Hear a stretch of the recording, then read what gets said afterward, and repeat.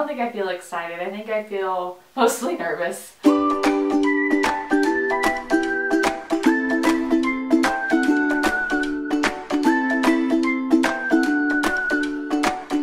everyone, Happy New Year and welcome back to my channel. So it is officially 2020. um, I hope you guys all had a really good holiday and I am ready to just tackle 2020 head on. So I was away from YouTube for like two weeks, um, just like for the holidays and whatnot. Um, our IVF process has begun. So, so it actually all started the day after Christmas. So Merry Christmas to me, time for shots. Um, so that was fun. but we got started with um, Lupron, which is a hormone slash estrogen suppressant injection. Um, and we kind of kicked that off.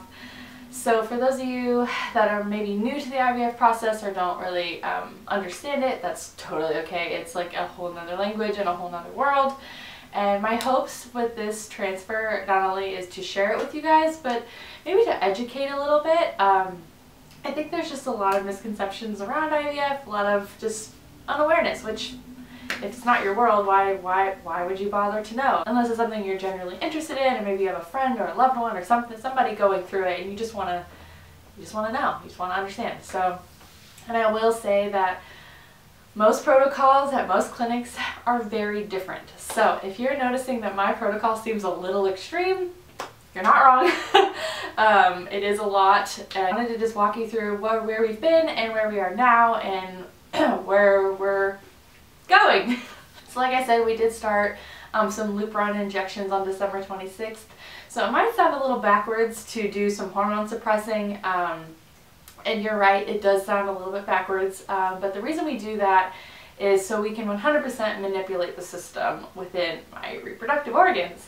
So things with frozen transfers are pretty different than fresh transfers if you're familiar with that process. But if you think about it, with a frozen transfer, um, the ovaries are completely taken out of the equations. The, the, the ovaries are not secreting any hormones, no progesterone to help um, become pregnant, to sustain a pregnancy, um, things like that. So we really have to manipulate estrogen and progesterone to make it all work, to support any potential pregnancy that may come about. So that's what we've been doing. Um, I did, I've been doing Lupron for a while now. it feels like a while.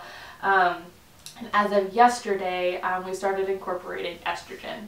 So the way we do that is we decrease the amount of Lupron. So we were doing 10 units a day, now we're down to 5 units a day, which is like the tiniest amount.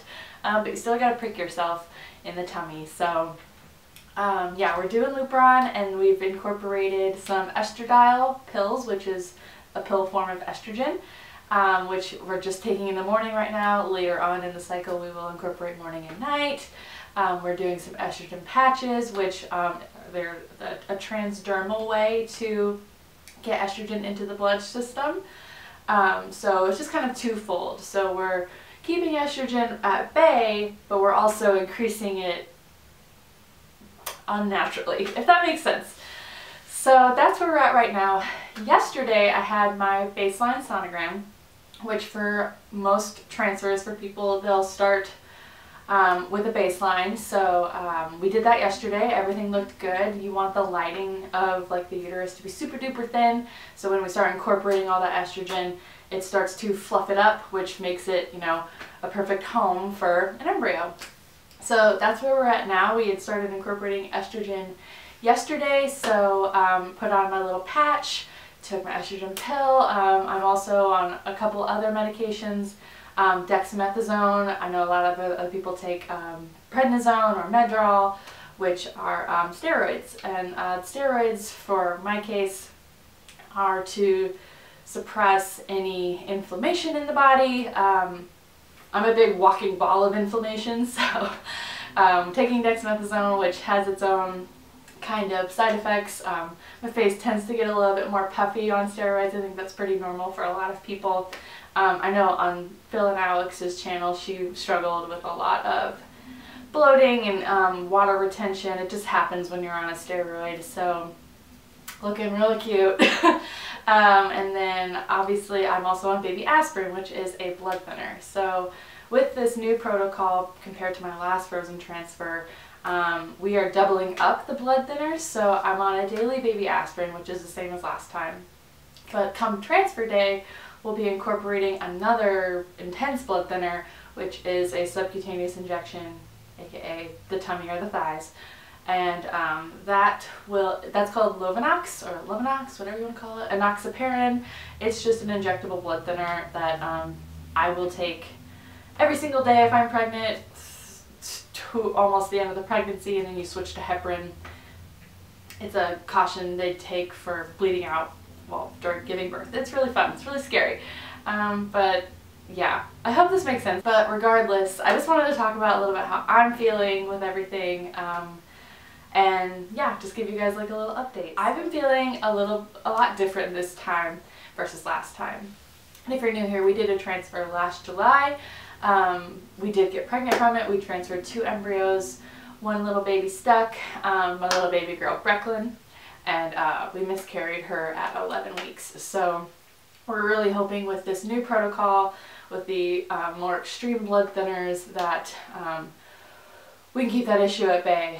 Brecklin was a genetically normal baby, um, so we do know that it's something within my body that's the issue. Um, I've been tested for some basic blood clotting disorders such as factor V Leiden, um, MTHFR.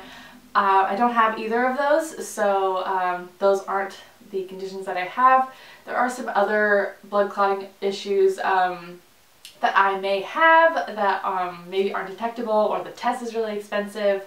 Um, one is like antiphospholipid syndrome, syndrome, there's a couple others. Basically, my doctor and I kind of came to the conclusion that we could spend hundreds and hundreds of dollars to maybe weed out which one it is, um, but he feels really confident that um, it is a blood clotting issue. Um, so he said, regardless if you take these tests or not, Lovenox is his next step for me. So um, kind of going at this on his word, which is a little hard, but um, also he said we're, we're now we're not running out of options. I hate to even say that because that's not that's not true. There are more options that we can do, um, but we're getting to the point where my protocols are pretty extreme um, with progesterone and oil and the Lovenox and uh, Prometrium and estradiol and estrace and patches and it's just a lot and um, we don't want to do more to my body than we have to to make this happen. So we're, we're, we're drawing a fine line of um, what to do. That's where we're at. I'm feeling nervous about it, a little, I can't even say I feel excited. I think I don't feel like, I don't think I feel excited. I think I feel mostly nervous. I was actually talking to a friend the other day about the differences between this transfer versus the first and it, it makes me think of that commercial. I don't know if you guys have seen it. I'm pretty sure it's a diaper commercial and it's like first kid, second kid. And like first kid, you're like high strung, you're nervous, like Germ-X on all the things. And then second kid, like they're crawling on the floor in like spilled cereal. Like it's just very like meh, whatever. You like you care, like you're you've toned it down on like your high strungness. And I think that's how I feel with this transfer. Like and just my approach to it, like I my very first transfer I set up like this like shot station in my kitchen and it was like really intense like probably not necessary and I felt like a lot of pressure on myself to like make everything go smoothly. This time around is like a little bit different like I didn't set up my shot station until after like four or five days after I'd already started shots I was like I need to like put these drawers somewhere. I bought these little gray drawers